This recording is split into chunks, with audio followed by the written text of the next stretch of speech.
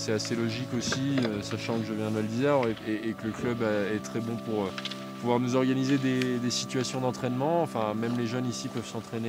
Euh, le téléski est ouvert, donc c'est plutôt bien. Et, en fait, on a choisi ici parce qu'on avait un petit peu de matériel à tester. Il y a un téléski qui tourne assez rapidement. Et, ça nous permet d'enchaîner les manches sur des bonnes conditions. On n'a pas eu de chance avec la météo parce qu'il y a eu de la, chaleur un petit peu, donc ça fait qu'on n'a pas eu la neige qu'on voulait.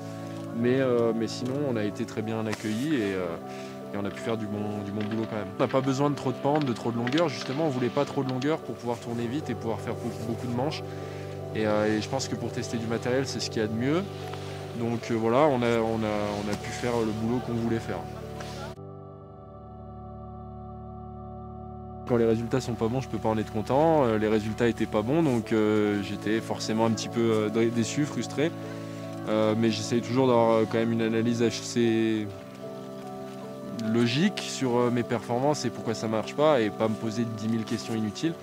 Mais, euh, mais par contre, ouais, des fois à chaud, je suis un peu énervé parce que j'ai envie de faire bien et que parfois je sens que je peux. Et surtout le début de saison, c'était un peu le cas. Je sentais que j'avais le niveau pour faire des très belles choses. Euh, je l'ai même montré sur certains manches ou passages, mais j'ai toujours fait beaucoup d'erreurs. Et encore maintenant, hein, j'en fais encore. Donc ouais, c'est un peu compliqué, mais, mais ce qu'il y a de positif, il y a toujours eu du positif à tirer de chaque course, donc c'est déjà, déjà un bon point.